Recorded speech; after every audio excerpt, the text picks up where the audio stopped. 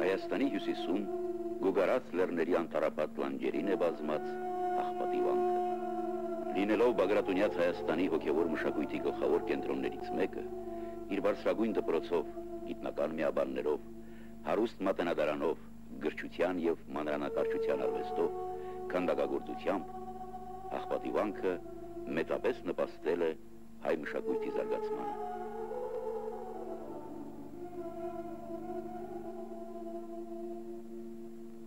Աղբատի հրաշալիքները թերի կընկալվեին, եթե չլինեին նրա մյուս ճարտարապետական կառույցները։ Փոքր ժամատունը կառուցվել է 1273 թվականին վանքի առաջնորդ Հովանեսի կողմից։ Նշանավոր է գավիթուն տեղադրված խաչքարը, որի հեղինակն է մեծատաղանդ քանդակագործ Վահրամը։ Այս ուշագոթողը կերտված է բարձր ճաշակով եւ կոմպոզիցիոն ու թեմատիկ առումով առանձնանում է մեր մի քանի հազար խաչքարերի մեջ։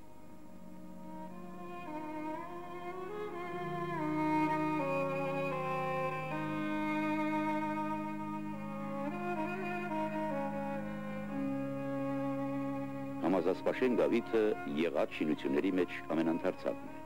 եւ իր հավասարակողմ քառանկյունի ձևով ընդգրկում է 333 քառակուսի մետր տարածություն։ Կենտրոնական 4 սյուների եւ յուրաքանչյուր պատից առաջացող երկու զույգ որմնասյուների միջոցով դահլիճը բաժանված է 9 մասի։ Մեկը, որը կենտրոնականն է եւ ընկած է 4 սյուների միջև, իր վրա է կրում երթիկավոր բացվածք ունեցող գմբեթը, բարձրությունը 7 մետր 20 սանտիմետր է։ Ժամատան եկեղեցին փոքր է, այն զբաղեցնում է 20 քառակուսի մետր մակերես։ Սուրբ Գրիգոր եկեղեցին կառուցված է 1025 թվականին։ Վանքի համալիրի հնագույն կառույցներից է։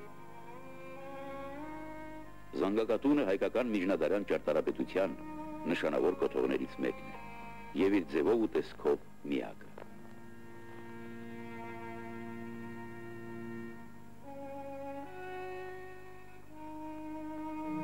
իր վեհությամբ նա իշխում է շրջապատի վրա։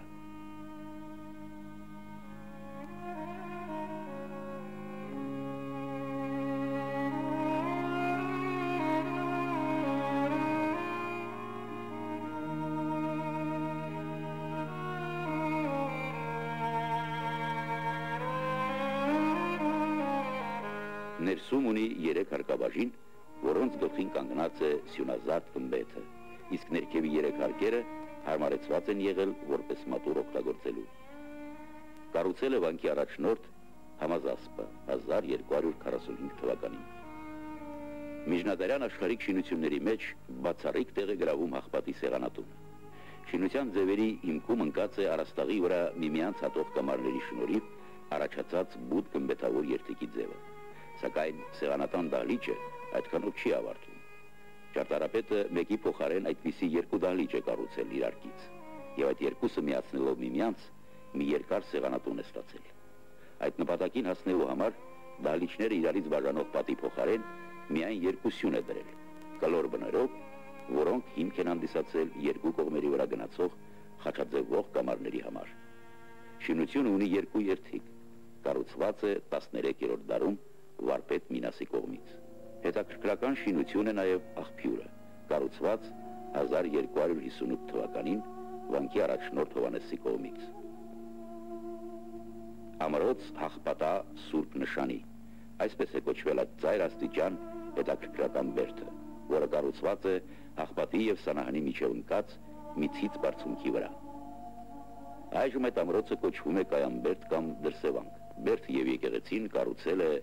աղբատավանքի առաջնորդ Հովանեսը 1233 թվականին։ Քանդվել է թաթարների կողմից, սակայն ինչ որ պահպանվել է, մեծ տպավորություն է գործում այցելուների վրա։